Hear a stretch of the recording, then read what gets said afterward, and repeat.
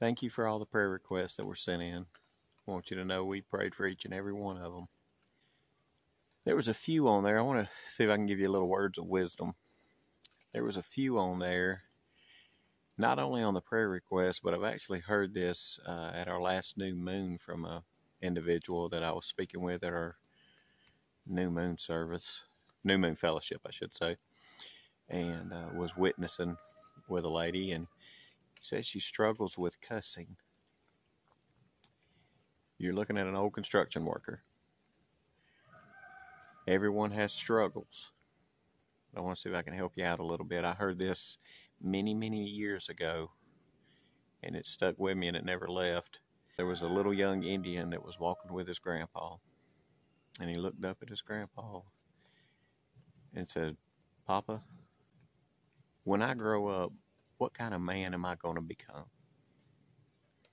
The chief Indian looked down at him and said, In each and every person, as you're growing up, you have two wolves that are inside of you.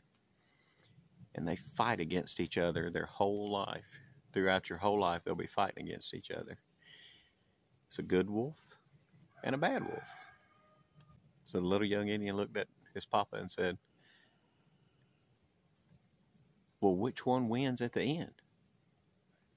And he looked down at the young man and said, Son, it's whichever one you feed. So ask yourself, what are you feeding your soul? Are you waking up praying every morning to start your day? Reading scripture in the morning to start your day? Go through Proverbs every morning. Just read a chapter of Proverbs before you leave and go to work. Scripture recommends that we pray three times a day. Set your alarm clock for three times a day. Before you leave for work, pray. Lunchtime, have your alarm clock go off 15 minutes before lunch or somewhere in there. Set your alarm clock for the afternoon about 8 o'clock. Have prayer time. Have reading time in the afternoon. Because whatever you feed yourself is what's going to come out of you.